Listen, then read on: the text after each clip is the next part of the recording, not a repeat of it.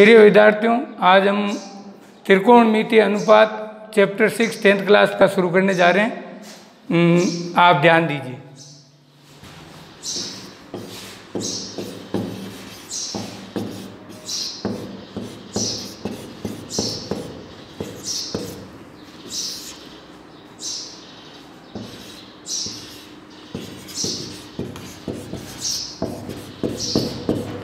त्रिकोणमिति अनुपात में हम विशेष रूप से zero degree, thirty degree, sixty degree, forty five degree, ninety degree के बारे में पढ़ेंगे।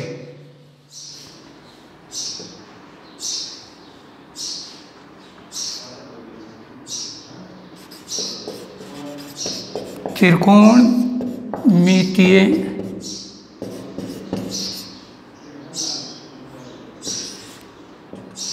त्रिकोणमितीय अनुपात विशेष, जिसमें ज़ीरो डिग्री, तीस डिग्री, पैंतालीस डिग्री, साठ डिग्री और नब्बे डिग्री। इन पाँच विशेष कोणों के रूप में अपन पढ़ेंगे और इसकी टेबल बनाएँगे।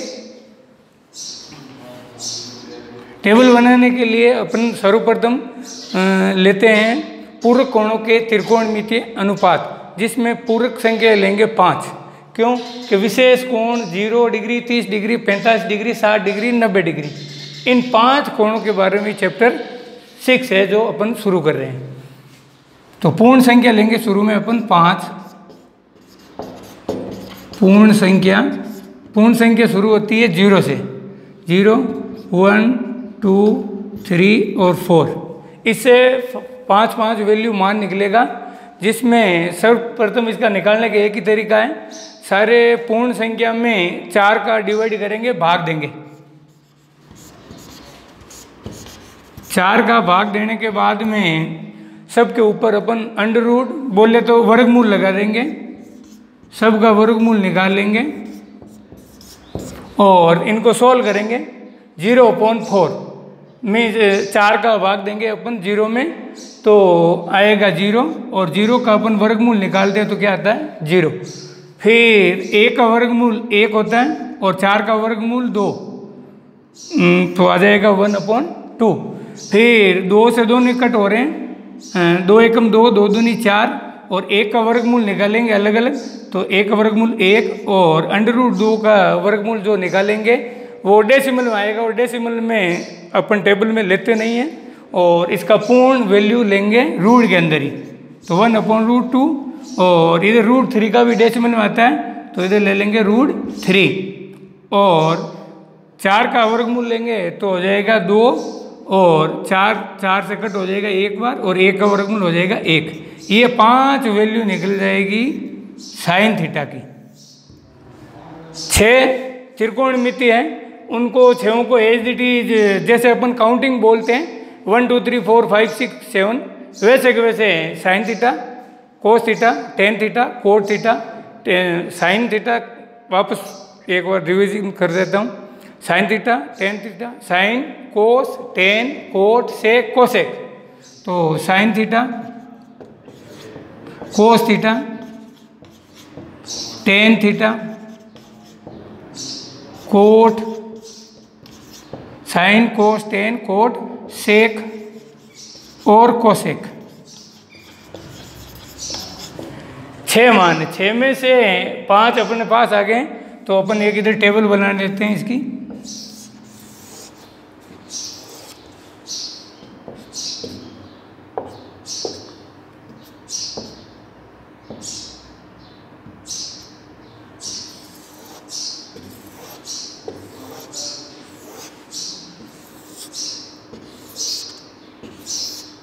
एक दो तीन चार और ये पाँच पाँच इधर हो गए। और इधर ले लेंगे अपन त्रिकोण त्रिकोणमिति अनुपात। हम्म, नीचे की तरफ़ त्रिकोण त्रिकोणमिति अनुपात और इधर ले लेंगे कोण। कोण है जो डिग्री में। सबसे पहले ज़ीरो डिग्री तीस डिग्री पैंतालीस डिग्री, साठ डिग्री और नब्बे डिग्री। और डिग्री में पाई के रूप में लेंगे तो zero, pi upon six, pi upon four और फाइव अपॉन थ्री और फाइव अपॉन टू। यहाँ पाई की वैल्यू अपन कई बार वन एटी भी लेते हैं। पाई की value three point one four one six infinitely और फाइव की value twenty two upon seven भी लेते हैं। लेकिन अपन इधर त्रिकोणमिति में पाई की वैल्यू 180 डिग्री ही रखेंगे। और इधर वही साइन कोस टेन कोट और सेक और इधर कोसेक पाँच वैल्यू जो अपन ने निकाली है, ये zero, one upon two, one upon root two, और रूट थ्री अपॉइंट टू, और वन। तीन वैल्यू अपन याद कर लें, साइन की टेन की, और सेक की। और तीन का वैल्यू याद करने के बाद में एक एक का उल्टा कर देंगे। जैसे साइन की अपन के पास ने निकाल ली तो कोस की निकालने के लिए यहाँ से शुरू करेंगे, यहाँ से ले लेंगे वन। इधर root three upon two, one upon root two, और इधर वन अपॉन टू, और ज़ीरो। टेन की लेंगे, उससे पहले कुछ इसमें देख लेते हैं कि ये एक दूसरे के उल्टे होते हैं, इनको कंटिन्यू याद रखना पड़ता है। One two three four five और सिक्स फ़र्स्ट लास्ट का उल्टा होगा और सेकंड फाइव का और थ्री फोर का। तो साइन का फॉर्मूला बन जाएगा अपने one upon cosec theta one upon cosec theta cos का हो जाएगा वन अपॉन सेक थीटा और टेन का वन अपॉन कोट ऊपर से तीसरा तो नीचे से भी तीसरा। और कोट का हो जाएगा वन अपॉन टेन, और सेक का हो जाएगा वन अपॉन कोस और ऐसे कैसे कोसेक का हो जाएगा वन अपॉन साइन अब अपन को टेबल में वैल्यू फाइंड करनी, मान ज्ञात करना है टेन थीटा का। तो टेन का एक फॉर्मूला है कि one upon cot theta one upon cot theta तो कोट की वैल्यू अपने पास नहीं है तो अपन इसका टेन की वैल्यू का एक और फॉर्मूला है, वो सीधे ही आपको याद रखना पड़ेगा कि टेन थीटा बराबर sine theta upon cos theta तो साइन थीटा की अपने पास वैल्यू है सारी, मान दिए हुए कोस के भी मान दिए हुए तो टेन थीटा कहता है sine theta upon cos theta तो साइन में भाग देंगे कोस थीटा का। तो सबसे पहले अपन निकालेंगे टेन ज़ीरो की वैल्यू मान निकालेंगे तो टेन का फॉर्मूला साइन अपॉन कोस तो साइन का मान है ज़ीरो और कोस का मान है एक तो एक का भाग देंगे ज़ीरो में तो हमेशा ही आएगा ज़ीरो और ये याद रखने वाला भी पॉइंट है, जैसे एक अपॉन ज़ीरो तो इसका मान हमेशा ही होता है इनफाइनाइटली अनंत, या अपरिभाषित बोल दो, इसका सिंबल चिन्ह प्रतीक यही है। अब ज़ीरो अपॉन वन है तो इसका मान हो गया ज़ीरो। अब इसका निकालेंगे टेन तीस का मान। टेन तीस का मान फॉर्मूला एक ही है साइन थीटा बटा कोस थीटा तो साइन थीटा का मान एक बटा दो तो अपन लेंगे एक बटे दो अपॉन कोस थीटा तो कोस थीटा का मान रूट तीन बटे दो तो रूट तीन बटे में दो। ऊपर भी भिन्न संख्या है और नीचे भी भिन्न संख्या है। सेकंड वाली संख्या का फ़र्स्ट वाले में भाग देंगे। तो एक बटे दो भाग देंगे तो ये भाग इंटू में चेंज होगा और दो ऊपर आ जाएँगे और अंडर रूट तीन नीचे। दो से दो कट हो जाएँगे और बचेगा एक बटे रूट तीन। एक बटे रूट तीन है जो टेन तीस का मान आ गया, एक बटे रूट तीन। ऐसे कैसे इसका निकालेंगे? तो टेन पैंतालीस का मान साइन ये पड़ा है कोस ये पड़ा है, इसका इसमें भाग देंगे। एक बटे रूट दो, एक बटे रूट दो। दोनों सेम संख्या है। समान संख्या का भाग समान संख्या में देंगे तो हमेशा क्या आएगा? एक। ऐसे कैसे? इसका इसमें भाग देंगे तो रूट तीन बटे दो है और अपोन में एक बटे दो। तो रूट तीन बटे दो में भाग देंगे। एक बटे दो का ये एक बटे दो चेंज होगा, दो ऊपर जाएगा, एक नीचे आएगा। मतलब कि रूट तीन बटे दो और बाकी जगह इंटू हो जाएगा और दो बटे एक। दो से दो कट हो जाएँगे, एक का भाग रूट तीन में देंगे तो आ जाएगा रूट तीन और रूट तीन मान हो जाएगा टेन साठ का। फिर टेन नब्बे का निकालना तो एक बटा ज़ीरो, एक बटा ज़ीरो मैंने अभी आपको बताया यहाँ पे कि इनफाइनाइटली अनंत या अपरिभाषित। तो ज़ीरो का भाग जब भी किसी भी संख्या में देते हैं तो अनंत आ जाता है तो यहाँ पे लिखेंगे अनंत। अब साइन का उल्टा हो गया कोस तो टेन का भी उल्टा लेंगे इधर से तो ये टेबल तैयार हो जाएगी आपकी। अनंत रूट तीन, एक एक बटे रूट तीन और ज़ीरो। अब एक ये वैल्यू निकालेंगे सेक की। तो सेक का फॉर्मूला है एक बटा कोस थीटा और एक के एक है ही एन कोस थीटा तो जैसे सेक ज़ीरो का मान निकालना है तो सेक का फॉर्मूला एक बटा कोस थीटा तो एक बटा कोस कोस की वैल्यू ये है। तो एक के बटे में कोस की वैल्यू एक। एक में एक का भाग देंगे तो आ जाएगा एक। तो यहाँ पे आ जाएगा एक। फिर ये निकालेंगे कोसेक सॉरी सेक सेक तीस डिग्री। सेक तीस डिग्री का एक बटा कोस है तो एक बटा कोस तो ये तीसरी संख्या मतलब कि एक में भाग देंगे रूट तीन बटे दो का तो एक में भाग देंगे रूट तीन बटे दो। मतलब ये ऐसे अपोन में लिखो, चाहे भाग में लिखो, दोनों एक ही चीज़ है। तो यहाँ पे एक बाकी जगह इंटू हो जाएगा, दो ऊपर और रूट तीन नीचे। और एक को दो से गुणा करेंगे दो और रूट तीन।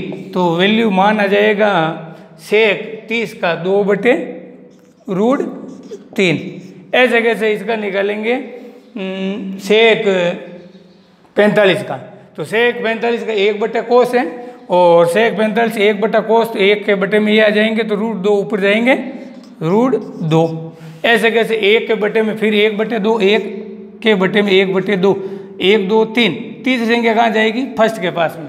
मतलब कि एक में भाग देंगे, एक बटे दो का, जो अभी यहाँ पे मैंने बताया है। तो आ जाएगा दो। और ऐसे कैसे यहाँ पे लेंगे अपन? सेक नब्बे का मान।